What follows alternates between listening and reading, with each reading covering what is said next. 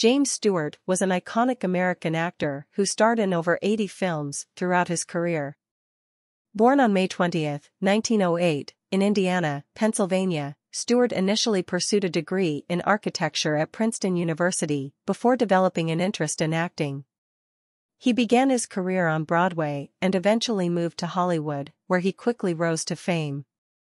Stewart's acting style was characterized by his naturalism and his ability to convey a sense of sincerity and honesty in his performances. He had a wide range, playing everything from romantic leads to comedic characters to tough Western heroes. He was often praised for his ability to convey complex emotions with just a subtle shift in expression or tone.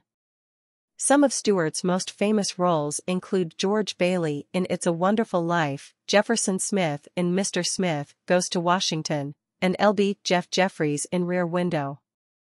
He also starred in several westerns, including The Man Who Shot Liberty Valance and Winchester 73, and worked with legendary director Alfred Hitchcock on several films, including Vertigo, Rope, and The Man Who Knew Too Much.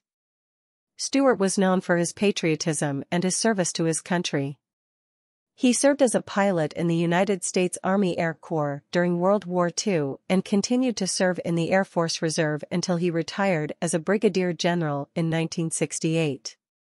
In addition to his acting career, Stewart was also involved in politics and social causes. He was a supporter of the Republican Party and campaigned for several Republican candidates over the years. He was also a vocal advocate for civil rights and was involved in the civil rights movement of the 1960s. Stewart received numerous awards and accolades throughout his career, including an Academy Award for Best Actor for his role in The Philadelphia Story and a Lifetime Achievement Award from the Academy in 1985. He passed away on July 2, 1997, leaving behind a legacy as one of Hollywood's greatest actors and a true American hero.